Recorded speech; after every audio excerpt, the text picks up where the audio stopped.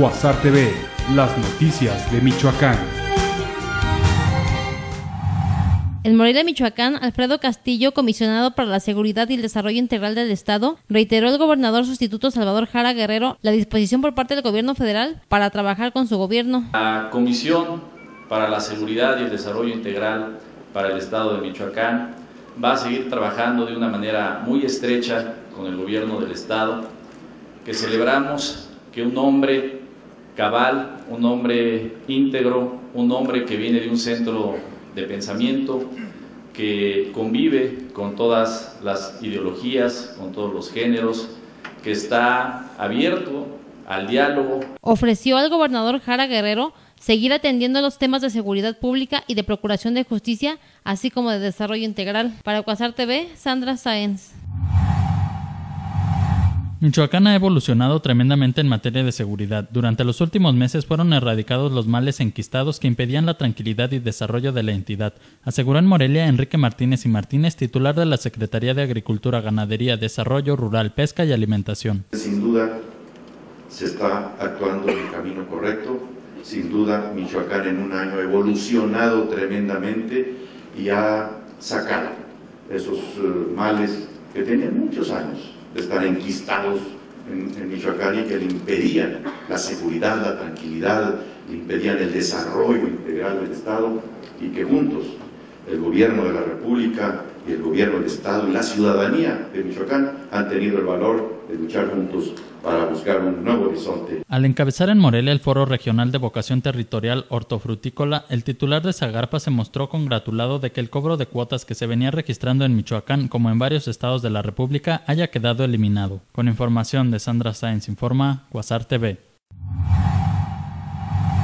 El sector de la construcción del Estado tiene más de 600 obras paradas en Michoacán desde el 2010 por falta de liquidez del gobierno estatal o algún trámite burocrático, afirmó el presidente de la Cámara Mexicana de la Industria de la Construcción en Michoacán, Francisco Javier Gallo Palmer. El monto no lo, no, no lo tengo, pero sí puedo decirte que solamente el IFEM habla de cerca de 600 obras paradas del 2010 para acá que tienen conflictos de una o de otra forma. El líder estatal de los constructores dijo que este sector confía en que habrá una reactivación este año. Con información de Felipe Bárcenas, informa Cuasar TV. El dirigente estatal del partido Acción Nacional, PAN, Miguel Ángel Chávez Zavala, comentó que no permitiera que el gobernador sustituto, Salvador Jara Guerrero, termine involucrado en los círculos del PRI y que se convierta en cómplice de Fausto Vallejo Figueroa y de Jesús Reina García. Nosotros, eh, para la decisión del gobernador Jara, fue muy clara nuestra posición, que no fuera priista y que pudiera estar alejado de los círculos de complicidad del PRI, de Fausto Vallejo y de Jesús Reina García. Ese principio se cumplió. Durante la rueda de prensa, Chávez Zavala mencionó que Jara Guerrero debe tener autonomía y no ceder el poder absoluto a la federación, pues si cae en eso, solo será una pieza más de la estrategia. Para Cuasar TV, Andrea Fernández.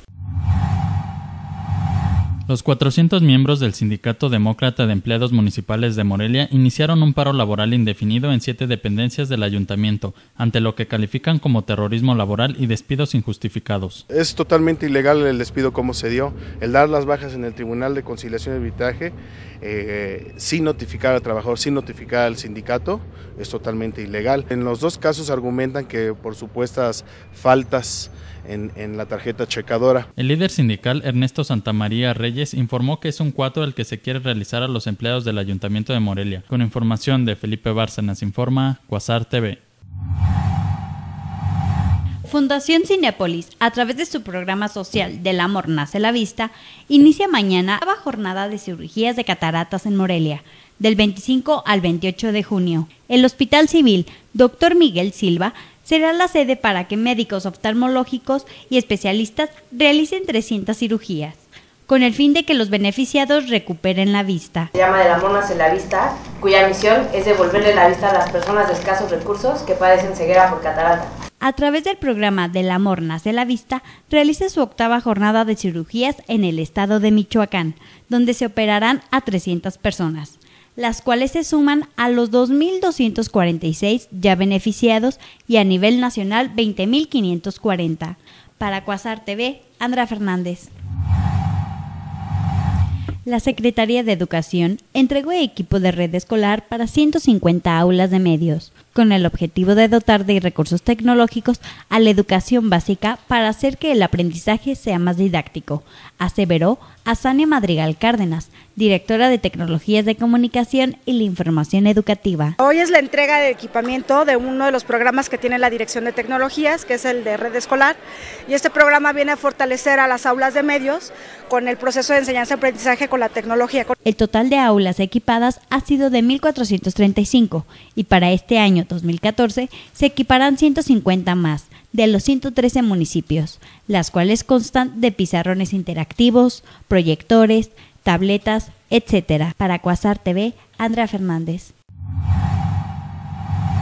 Con la participación de más de 600 atletas de 38 países, se realizará en Morelia del 3 al 7 de julio la vigésima edición del Campeonato Centroamericano y del Caribe de Atletismo Sub-18 y Sub-20. Una pregunta que me han hecho muchas veces en un año, ¿por qué Morelia?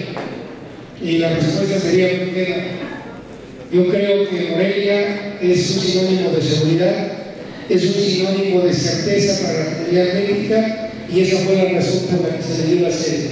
Con la intención de establecer un compromiso, colaboración y apoyo al municipio para que este evento sea un éxito, la Secufit y el Ayuntamiento de Morelia firmaron un convenio de colaboración. Con información de Sandra Sáenz, informa Quasar TV con la finalidad de capacitar, además de certificar las competencias laborales y habilidades de los trabajadores de la industria de la construcción, el presidente de la CEMIC, Francisco Gallo Palmer, y Bertín Cornejo Martínez, director del ICATMI, firmaron un convenio de colaboración para que los miembros de la Cámara puedan realizar talleres de capacitación en dicha institución. Procedemos entonces a la firma de este convenio tan importante de colaboración entre el Instituto de Capacitación para el Trabajo del Estado de Michoacán y la Cámara Mexicana de la Industria de la Construcción. El presidente de la Cámara Nacional de la Industria de la Construcción, Delegación Michoacán, detalló la importancia que acciones como esta tienen para la acreditación y certificación de los trabajadores de la industria, ya que de esta forma las empresas podrán superarse, mejorar la calidad de su trabajo y lograr certificaciones ISO 900. Con información de Andrea Fernández, informa Quasar TV.